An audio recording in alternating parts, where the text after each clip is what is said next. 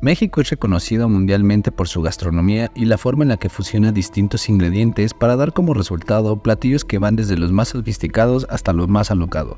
Ahora, en redes sociales se ha popularizado la torta de tamasquites, un antojito que fue creado por un joven en la Ciudad de México. Por medio de TikTok, un joven muestra la preparación de la torta de tamasquites, logrando conquistar a más de un millón de personas en las redes sociales de microvideos. Esta particular torta combina los sabores auténticos del tamal y el esquite, fusionados todo dentro del tradicional pan con el que se elaboran las tortas en la capital del país.